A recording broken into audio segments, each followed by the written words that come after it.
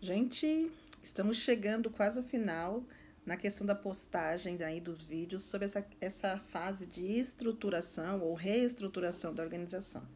De repente você está começando um trabalho aí no empreendimento social, você já atua há um tempo, mas é hora sempre de repensar, né? Repensar para ver em que momento nós estamos, nós estamos indo para o caminho certo ou não. Ouvir críticas é muito importante. Dói, né? Dói, às vezes machuca, às vezes a gente está preparado, mas é bom a gente ouvir as críticas para a gente saber se a gente está caminhando da maneira certa. E aqui, mais uma vez, trazendo o exemplo da organização que eu faço parte, da, da ONG Ação Vida, eu me lembro que quando nós tivemos o auge, o pico da pandemia, muita gente se mobilizou para fortalecer as organizações que estão e estavam lá na ponta, né? Quem é a organização de ponta, para que houvesse um trabalho mais sólido e profissional. Nossa, eu passei por várias consultorias, vários treinamentos. Eu me lembro, se eu não me engano, foram três ou quatro. Primeiro com a SPM Social, que foi a questão de aprender a trabalhar com rede social, e estou aprendendo até hoje, mas deram super dicas maravilhosas. Segundo, com a ONG Parceiro Voluntários, com o professor Newton, economista e consultor. Muito do que eu estou compartilhando aqui eu aprendi com ele na consultoria e agradeço o conhecimento. É, e tivemos também o conhecimento com a, com a Fomenta, aceleradora de projetos foi fantástica. E assim, e o forte da Fomenta foi nos ajudar a desenvolver um protótipo, que eu vou falar sobre isso mais para frente, como desenvolver um protótipo e isso ser uma ferramenta de captação de recursos, como apresentar um pitch, bendito do pitch, o que é um pitch, como fazer um pitch em 1 minuto e 30 você conversando com a pessoa no elevador, conversando com a pessoa no metrô, enfim, na rua, como apresentar a sua organização e conseguir captar recursos em menos de um minuto. Isso é possível, mas para tudo isso tem treinamento. Mas para que haja toda essa possibilidade, é, é possível, é necessário ter essa gama de informações bem solidificada na sua mente, senão você não vai conseguir, na verdade, nem eu desenvolver nada. E é por isso que a gente está trabalhando nessas questões básicas: missão, visão, valores. Por que, que eu bato tanto na tecla disso? Porque é a base para que haja uma construção do trabalho social. E nós já fizemos todo esse processo. Estamos chegando aqui já pensando no planejamento estratégico, já falei sobre isso. Deixei material disponível lá embaixo para vocês verem como que funciona, como que se desenvolve. E a gente está à disposição para conversar também. Não é fácil, no começo a gente vai se atrapalhar mesmo, a gente vai se perder, a gente vai ficar com dor de cabeça. E se você for como eu, você vai tomar várias caixas de paracetamol também. Espero que não aconteça isso com você. Mas é importante a gente repensar a caminhada da organização, né? E o que estamos fazendo? Por que estamos fazendo? Aonde queremos chegar? É importante a gente parar para responder essas perguntas, né? Uma coisa que eu aprendi muito na, na Fomenta foi assim, é, que o gestor ele não existe apenas para deixar a organização aberta. Então não é apenas abrir e falar, ah, nós existimos para atender a comunidade, mas é fazer a organização crescer. Claro, a gente vai atender a comunidade, mas de que forma a gente vai atender? Quais são as, planeja as ferramentas? E isso, né, nisso entra o planejamento estratégico, que são aquelas perguntas que a gente respondeu. A gente vai elaborando um plano de ação, ele se torna um planejamento estratégico, a gente apresenta isso para todas as pessoas que estarão envolvidas direta e indiretamente, para todo mundo saber. Não é um negócio para guardar só na gaveta, ah, ficar só com a diretoria estatutária, ficar só com a equipe técnica.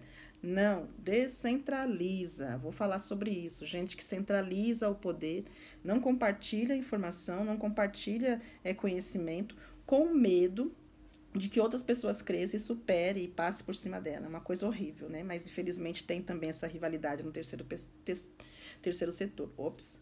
São pessoas, né? E infelizmente isso acontece. Muito bem, eu quero falar hoje rapidinho aqui sobre a dica do PDCA.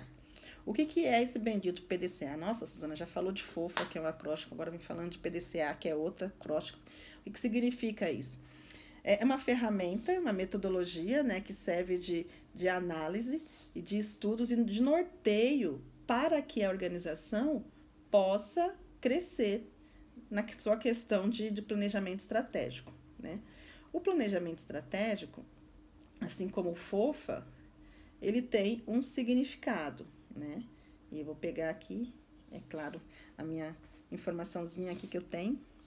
É, é uma metodologia de gerenciamento, né? E com, procurando o quê? Visar a melhoria do trabalho da organização. É, em parênteses. Quando nós começamos a fazer as consultorias, É, muitas coisas foram diagnosticadas que nós estávamos errando, e principalmente coisas erradas que eu estava fazendo, achando que estava fazendo a coisa certa, né? Porque a gente tem a mania de fazer, fazer, fazer, fazer, fazer, e não parar para pensar naquilo que a gente está fazendo. E principalmente no momento de crise que a gente viveu e está vivendo, é importante repensar a atuação da organização. Então, ouvi muitas coisas, muitas críticas, aquilo que nós estávamos fazendo de bom, mas também aquilo que nós estávamos fazendo ruim e que estava prejudicando a organização. Então, melhoramos 100%? Claro que não. Avançamos um pouco e estamos correndo atrás de melhorar cada vez mais. Então, o PDCA é essa metodologia que vai nos ajudar a gente gerenciar quais são os objetivos, né, gerenciar os objetivos para que a organização cresça. E aí, o PDCA são quatro siglas que significam em quatro etapas: planejar, que é o que a gente está trabalhando, fazer, que é a execução, checar, que seria a, o monitoramento, né, avaliar, e agir, né? Ou seja, depois que a gente estabeleceu toda essa gama de atividades que a gente está fazendo, missão, visão, valor, construindo, percebe? Percebe o tempo? Quantos vídeos eu preparei para a gente conseguir chegar até a parte agora que a gente está indo ainda para pensar depois, logo na captação de recursos. Percebe que não é só chegar e, puf, ah, eu vou captar recursos. Não. Senão você vai disparando para captar tudo e aí você não capta nada e mais importante a informação do que deve ser feito na organização. Então, é, o, o PDCA, ele é como se fosse um, um círculo, né? Um disco que você vai girando, girando, girando, girando, girando, e aí você vai é, simultaneamente fazendo tudo, planejando, é, fazendo, checando e agindo. Eu me lembro que a gente teve uma consultoria com o professor Newton, e essa informação foi tanta, tanta informação ao mesmo tempo, porque a gente tinha cerca de, acho que dois encontros na semana, três encontros, com uma carga horária grande. E eu me lembro que a, a, a Leda do Espaço é, Cultural Nova Bom Sucesso, se ela está assistindo, ela vai lembrar disso. Nós ficamos tontinha com essa informação, porque foi tanta informação, tanta informação. É um modelo de gestão empresarial, gente. A gente está trazendo informações do que é feito nas grandes empresas. E a gente, o terceiro setor, a gente não tinha essa dimensão, né? A organização pequena não tem essa dimensão. Até porque não tem estrutura. Mas depois que a gente aprende, a gente começa a colocar em prática. E eu me lembro que a Leda, quando é, viu toda essa informação, o professor ele falava, olha, nós temos que girar o PDCA, gira o PDCA. E a Leda falou assim, olha, de tanto girar, eu já ficando até tonta, tonta, tonta de girar o PDCA, gira o PDCA, gira o PDCA. Giro PDCA. Eu lembro que ela fez assim, ó, giro PDCA, giro PDCA. eu falei, nossa, é muita informação.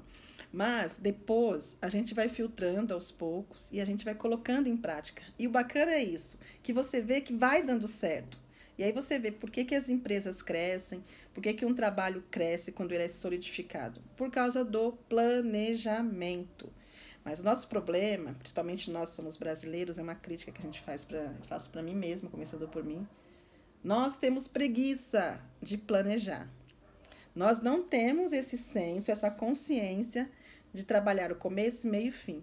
E aí a gente vê lá na frente, faz um monte de coisa errada, a gente fala, mas por que está acontecendo? Porque não trabalhou antes atrás, né? Nas bases principais. Então, o PDCA é essa ferramenta. Eu vou deixar aqui embaixo também um link para você ver como que ele é o que, que você pode é, aprender com ele, mas basicamente é isso: você vai planejar, você vai executar, você vai avaliar e você vai agir. São essas quatro ações que você vai fazer sempre na gestão da organização, sempre na gestão. Tudo aquilo que você fez no plano de ação, você vai elaborar, você vai filtrar e vai ver se realmente está acontecendo. E aí, no final, você vai ver se está chegando no objetivo principal. Qual é o objetivo? Ou alcançar lá a missão da organização. Da organização. Vamos pegar um exemplo mais prático? É, organização do Gerando Falcões, né? A ONG Gerando Falcões, que é uma ONG que eu gosto muito de falar e trabalhar. Planejou, por exemplo, é, é, corona no paredão. Vamos pegar um exemplo. Planejou como que seria o corona no paredão, que seria a distribuição de alimentos, né, para todas as pessoas, para todas as pessoas. E aí isso foi feito, distribuindo alimentos, e começaram a fazer, executar, avaliaram, checaram, estão vendo os resultados acontecerem, né? Isso não foi diferente também. É claro que o impacto do Gerando Falcões é muito maior do que de outras organizações, porque a estrutura que eles têm hoje é grande. Mas começaram pequenininho como a gente também, gente. Então não tenha medo disso. Então, é importante que o gestor ele pare para repensar e pensar a vida da organização. E nós, na, organização que estamos inseridos, precisamos fazer a mesma coisa. A mesma coisa. Então, gente, bora todo mundo girar o PDCA, girar o PDCA. Tô brincando. Pense nesse disco de gestão em que toda hora talvez você tenha que fazer ajustes, ajustes, ajustes, mas nunca se esquecendo do que você planejou lá, na, lá atrás. Primeiro, objetivo, chegar na missão, visão e valores da organização. Gente, um grande abraço para você. Tchau, tchau.